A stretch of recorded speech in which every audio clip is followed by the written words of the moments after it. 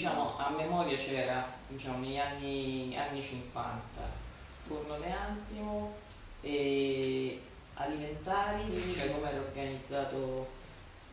Ma da alimentare in quel periodo ce ne stavano tanti. Beh, Stavano uno a Pressaiaro. al Piglione pure, eh, dove stava? De- eh, il negozio di Sopra ce ne stava uno alla piazzetta, poi veniva giù e ci stavamo noi.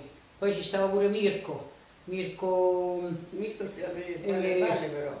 quasi qua davanti, dopo te, il palazzo di Angela. Ci stava un'altra, eh Mirko, stava là, eh. Beh, sotto l'appetito, ci stavano un negozio alimentari. Eh, Chi ha spedito?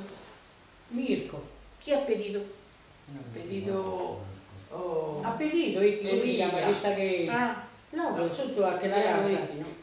Che poi di Mir- Ah, ah, di beh. Mirna. Beh. La- la- la- Ah, ci sta eh, negozio? ci stava il negozio di, di Mirko, da, da alimentari. Alla piazzetta qua ce ne stava un altro. No, ma io mi ricordo Spaccone. Il spaccone, ma pure quello, io me lo ricordo. Però non è Beh. Mirko, beh, me lo ricordo pure Mirko. Beh, ma voi non vale troppo la cena stiva. Eh, ieri fine era piena. Ci stava eh, Oreste, Bu, Oreste Bu, Ughetto, Le Cagnara dopo. Emilio Cagnara. De Gavi, il padre di Gigino, Ma troppi ce ne E stavano. pure io, padre Marino. pressa- erano camerette per, praticamente. non- Erano tutti erano salottini negozi che dove raccontavano, gli faceva botte, tutte le cognate, tutte le cognate c'erano prima. E qua vicino alla il Che raccontavano tutto, tutto. Però tu dovevi stare zitta perché se volevi, non dovevi dare i paragoni. se- Vabbè, vabbè. Però qua alla fontana c'era i tabacchi di... Dei righetto, Righetto, poi. il Gonzalo, Il Gonzalo, tabacco. Teresa Giupponi, Beh. professoressa. Qua alla fontana ci stavano garage, c'era... Ieri Garage, fine era non pieno uso. di negozi. Eh, Sì, aprono, ma eh, tu ti ricordi C'era sempre. come io, c'era Poco, il però. poco Ma non era era- cristiano Eh, tutto Eh. Qua abbiamo Che strada, osteria. diciamo c'era la comunità